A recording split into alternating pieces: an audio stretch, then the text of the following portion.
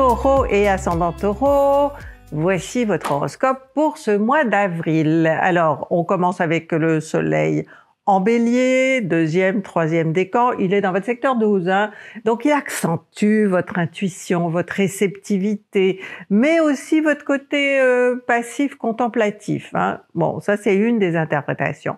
Mais il y en a une autre, hein, puisque euh, le bélier est géré par Mars. Donc vous pouvez être un petit peu euh, dans la rancune, en vouloir à quelqu'un ou être en colère intérieurement, mais vous voudrez pas le montrer parce que vous n'aimez pas les conflits. Hein, c'est pas par hasard si le bélier est en 12 euh, chez vous.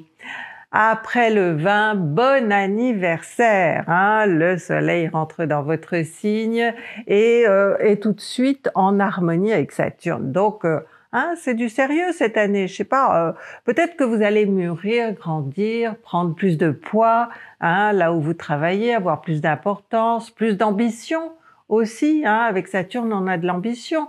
Bon, n'oubliez pas le carré de Pluton, mais à mon avis, euh, vous n'allez pas le sentir euh, trop euh, dans la mesure où, vraiment elle, est à peine hein, rentrée en verso qu'elle va en repartir. On en parlera l'année prochaine hein, de ce carré de Pluton. Mais là, vous avez le bon aspect de Saturne et franchement, c'est quelque chose qui va donner confiance finalement aux gens avec qui vous allez être en relation professionnelle ou personnelle.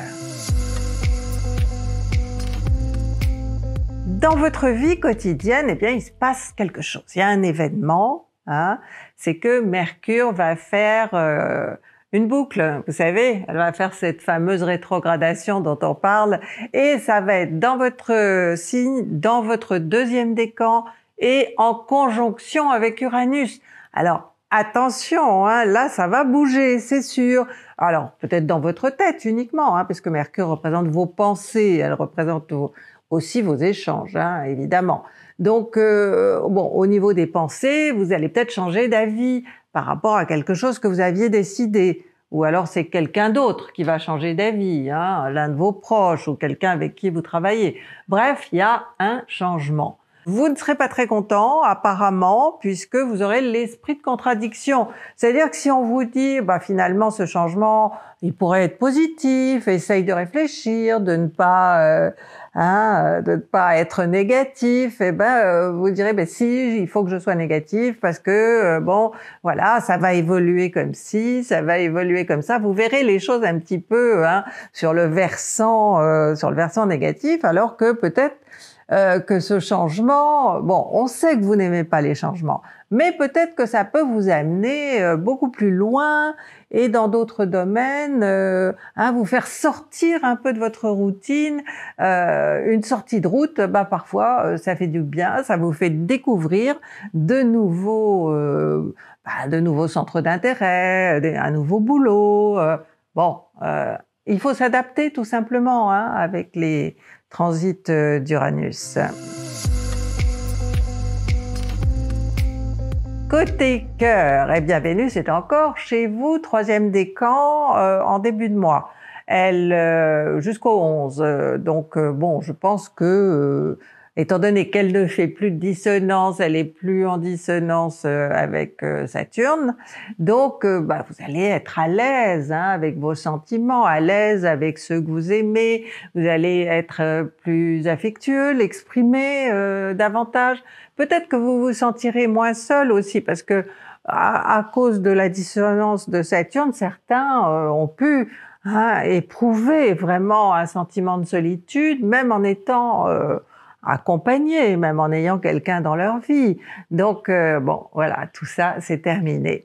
Après le 11, Vénus va occuper votre voisin, euh, les Gémeaux, hein, qui traditionnellement euh, est un secteur d'argent.